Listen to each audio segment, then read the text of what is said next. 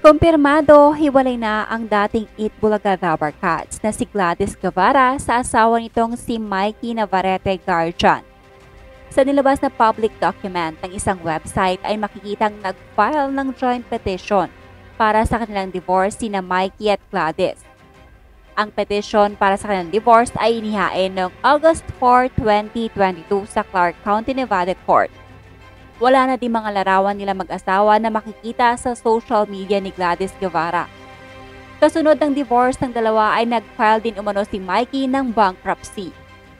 Matatanda ang taong 2021 nang ikasal si Gladys sa kanyang non-showbiz boyfriend na si Mikey matapos lamang ang tatlong araw nilang engagement.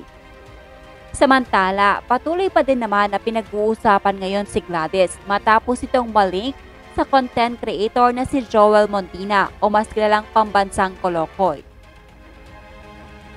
Nagumpisa ang mga haka-hakang may relasyon umano ang dalawa dahil sa content na in-upload ni PK sa kanyang channel.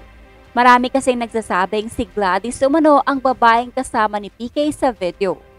Ngunit wala pa naman itong linaw dahil naka-sunglass at face mask ang babaeng kasama ni PK sa kanyang vlog. Sa ngayon ay wala pa din namang pahayag na nilalabas si Gladys at Joel Mondina ukol sa issue na kanilang kinasasangkutan sa ngayon.